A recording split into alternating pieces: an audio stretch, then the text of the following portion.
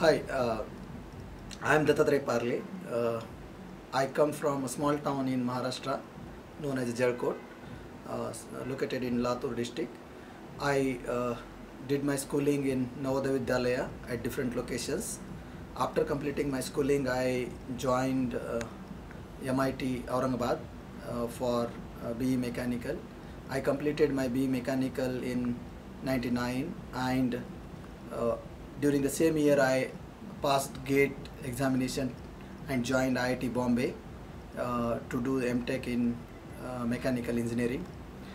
After completing my MTech in mechanical engineering, I uh, joined Bhabha Atomic Research Center as a scientist and worked in a robotics uh, design uh, close to four years. And after that, I left BARC to pursue my professional career in uh, corporate world. I joined Geometric Software and started working in a development of CAE softwares. That's where I went deep dive into the CAE, CAD and CAE technologies and continued working uh, there. And uh, then I joined Infosys. Since last year, since last five years, I am working in Infosys in different uh, domains and technologies. I am working in uh, I am working for various clients like Airbus, Boeing, Alstom, Rolls-Royce, Cummins, and uh, many other. Uh,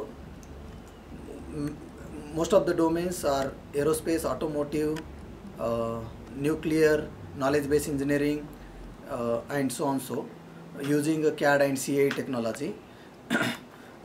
of late, we have started uh, developing our capability in uh, biomedical engineering, uh, and we started applying uh, uh, one uh, te- one technology which is used in widely used in aerospace and automotive domain into the biomedical engineering, where using this technology, using these best practices used in this, we are trying to simulate different biomedical organ organs in a CAE technology like heart and bones, teeth, and so on so. So uh, uh, last year we uh, successfully modeled and simulated a heart model, which won the um, simulating reality contest uh, conducted by MSC Software in the US. This year we worked on a, a a spine bone of uh, osteoporotic, osteoporotic patient, which also won uh, the simulating reality contest in the year 2014. After NASA, we are the only uh, second to win this award consecutively two years. And mm, during this uh, uh, uh, 14 years of work experience in CAD and CAE technology, I have been I have been awarded or honored with various awards.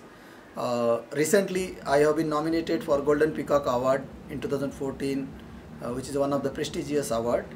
Also, uh, within Infosys, I have been uh, given a Domain Champion Award for my contribution within Infosys for in nuclear, biomedical, and knowledge-based engineering.